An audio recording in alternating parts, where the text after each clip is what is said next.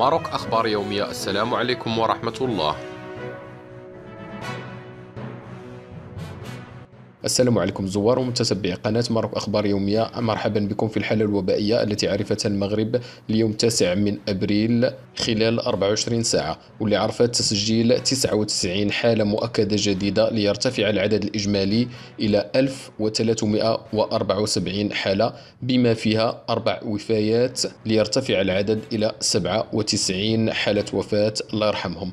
أما بالنسبة للحالات التي شفيت فقد شفيت خلال 24 ساعة 12 حالة ليرتفع العدد الإجمالي لعدد الحالات التي شفيت إلى 109 بتسجيل عدد 532 هو عدد الناس الذين تم استبعادهم بعد تحليل سلبي ليرتفع العدد الإجمالي إلى 5009 بالنسبة للناس اللي كيسولوا علاش كنقولوا هاد الناس اللي بالنسبة للوزارة علاش كتعلن على هاد الناس اللي خرجوا سلبيا راه بها باش كنعرفوا كنزيدوا عليها ديال اليوم ونزيدوا عليها عدد المصابين المؤكدين باش تعطينا عدد التحاليل التي أنجزت. وغنلاحظوا بأن عدد التحاليل التي أنجزت اليوم هو رقم قياسي حيث أنها سجلات 631 وهذا رقم قياسي يمكن ملاحظته.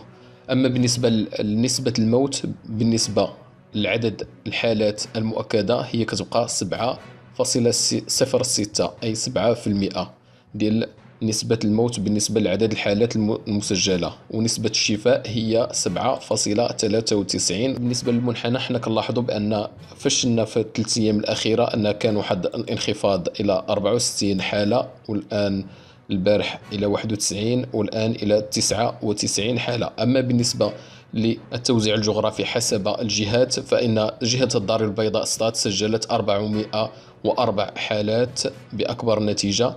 تليها جهة مراكش آسفي ب 258 حالة تليها جهة الرباط سلا القنيطرة ب 209 حالات وأيضا جهة فاس مكناس ب 167 حالة تليها أيضا جهة طنجة تطوان الحسيمة 115 حالة وجهة الشرق ب 86 حالة وجهة درعة فيلالت ب 67 حالة وجهة بني ملال الخنيفرة ب 41 حالة وجهة سوس ماسة ب 20 حالة وجهة العيون السقية الحمراء بأربع حالات وجهة الدخلة وادي الذهب بحالتين وجهة قلميم ودنون بحالة واحدة. وفي الأخير كنبغيو ننبهوا أن الجميع يجب أن يلتزم بشروط السلامة الصحية وأيضا البقاء في المنازل والخروج عند الضرورة القصوى. مع استعمال الكمامة والنظافة وشكرا لكم.